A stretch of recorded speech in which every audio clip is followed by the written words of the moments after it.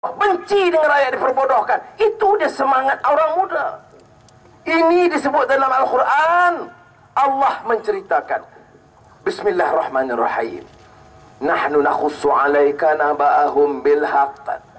Innahum fityatun amanu birabbihim wa zidnahum huda. وربطنا على قلوبهم إذ قاموا فقالوا ربنا رب السماوات والأرض لن ندعو من دونه إلها لقد قلنا إذا شططا صدق الله العظيم Ini Datuk Najib ikut lah Quran apa? Apa artinya? Quran Allah menceritakan Mari aku ceritakan kisah yang sebenar. Yang ini yang penting.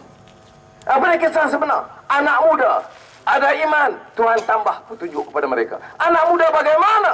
Anak muda yang menyebut warabatna ala qulubihim terpat di hati sanubari mereka. Kekuatan yang tunduk kepada Tuhan yang menjadi langit dan, dan bumi. Dia tak takut dengan pemerintah yang zalim di luar yang rasuah, yang menindas, yang memaksa, yang mengugut. Seluruh kekuatan dia kata tak peduli kerana aku takut kepada Tuhan yang menjadikan langit dan bumi. Suruh adil, suruh cakap benar, jangan pusta, jangan zalim, jangan rampas harta orang, jangan curi hak orang. Sudah, ini dia pengalaman kita. Dan ini seruan. Sebab itu Khardawi kata, apa arti Islam? Apa arti Islam kalau kita tak hormat hurriyah, kebebasan. Apa arti Islam kalau kita tidak bawa aizah, kebahagiaan? Apa arti Islam kalau tak bawa karamah? Walakad karamna bani Adam. Karamah, hormat. Muslim, bukan Islam. Melayu, Cina, India. Hak mereka, kita pertahan. Itu hebatnya Islam. Bukan yang zalim. Oh, nak ikut Cina. Hah. Maka hidup Melayu. Cakap, saya tengok. Ah, di parlimen Sri Gading. Wah kau di, di parlimen. Melayu kita. Melayu mana? Yang bagi genting Highland kat China siapa? Pai ke? Yang bagi ke Tokyo Judi suatu gunung dekat Kuala Lumpur tu UMNO ke PAS yang bagi satu bukit-bukit tinggi kepada Tokyo Judi. Itu pun ada kecocokan UMNO itulah Tok Sri. Saya bukan tak setuju tapi tak mau negeri ini bagi kat China Timbangan.